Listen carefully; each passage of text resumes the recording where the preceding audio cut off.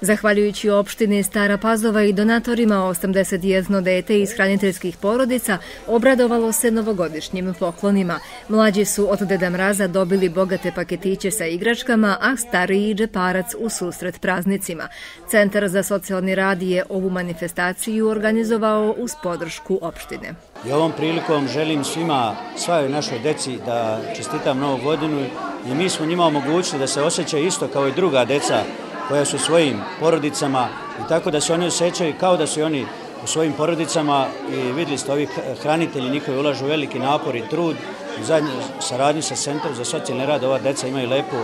detinstvo i nadamo se da će biti dobri i uzorni posle i omladinice što se kaže, a i građani ove naše zajednice. Zahvaljujući hraniteljskim porodicama kojima se ja i ovaj put zahvaljujem u svoje lično ime, u ime kolega i u ime opštine, ova deca osjećaju porodice kao da žive u svojim biološkim porodicama,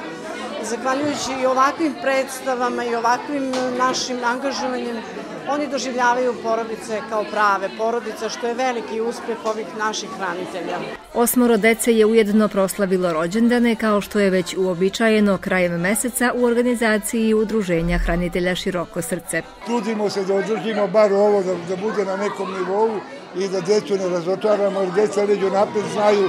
da kad dođe zadnja subota u mesecu ko je imao rođendan da mu sleduje poklon. Sa rođendanskim proslavama će se nastaviti i u sledećoj godini, a ovu su hranitelji i deca u njihovim domovima priveli kraju zajedničkim druženjem na ovoj uz novogodišnju predstavu i slikanje sa Deda Mrazom.